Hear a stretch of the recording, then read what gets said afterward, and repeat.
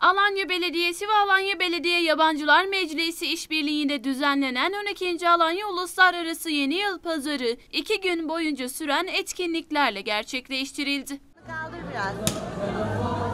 Hadi bakalım. Yerli ve yabancı on binlerce vatandaş yeni yıl pazarına akın ederken Başkan Yücel tarafından pazarın tüm gelirinin engelli vatandaşların yararına kullanacağını söyledi. Biraz evet büyük.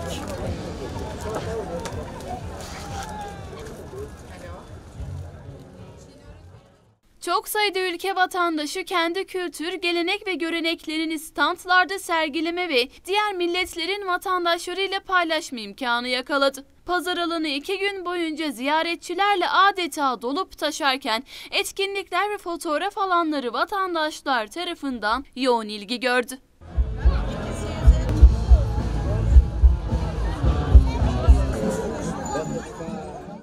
Yeni yıl pazarında kurulan sahne iki gün boyunca dans ve müzik gösterileri geçidine sahne oldu. Yeni yıl pazarının ilk gününde akşam saatlerinde ise ünlü sanatçı ve keman virtüözü Gülşah Tütüncü sahne alırken ikinci gün kapanışı sevilen müzisyen Göksel Doğançay gerçekleştirdi.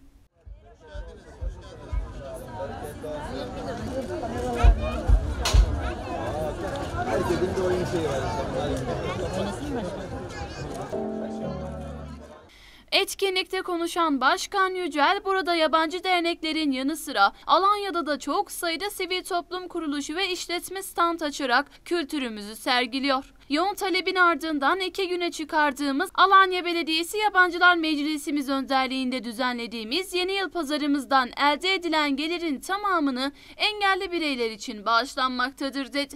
Dini ve kültürel zenginliklerimizi yaşatırken birbirimizin farkındalıklarını, zenginliklerini kabul ederek birbirimize hoşgörü ve saygı çerçevesinde huzur ve güven içinde bir arada yaşayarak tüm dünyaya örnek olduğumuzu düşünüyorum.